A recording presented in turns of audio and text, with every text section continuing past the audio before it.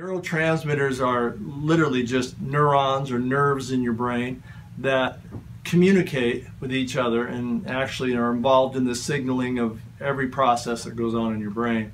So anything that disrupts that um, is pretty disastrous for, for, everyday function. And so uh, the number one thing you want to look at is stress. Because remember, when you're stressed, you're literally using just a small part of your brain and you're closing off the communication between your brain and neurons are about communication.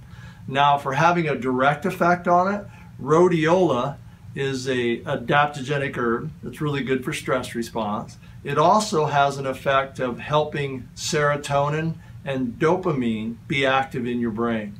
It has this effect of allowing the precursors to making those two neurotransmitters to be transported up into your brain much more easily.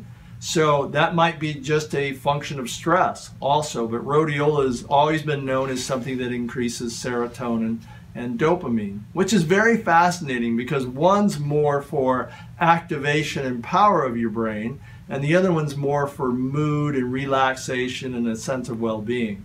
So it kind of gives you an idea how these herbs have a multi-layered effect and you're just not taking them for one single little reason, right? Ashwagandha, one of my other favorite herbs, is a direct, um, has a direct effect on building GABA. GABA is another one of those neurotransmitters that helps with relaxation and a sense of, of just being able to handle stress without becoming anxious or developing anxiety. It also increases the function of serotonin in your brain. So those are just two examples of a great adaptogenic herbs that have a pronounced effect on neurotransmitter activity in your brain.